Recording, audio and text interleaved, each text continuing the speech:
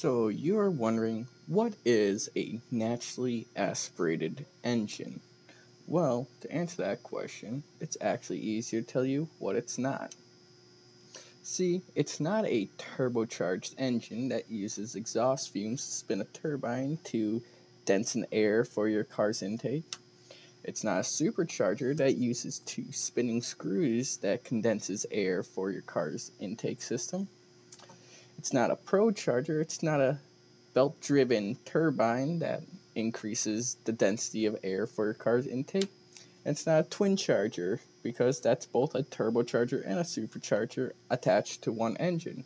So, what is it? Well, it's in the name naturally aspirated. It is natural.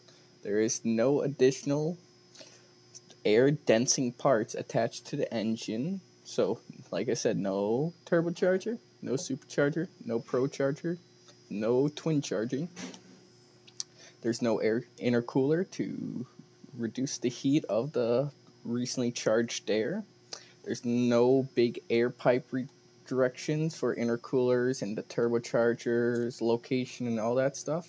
It's just a simple, classic suck the air in, combine the fuel and bang, and blow the exhaust out through the other exhaust valve.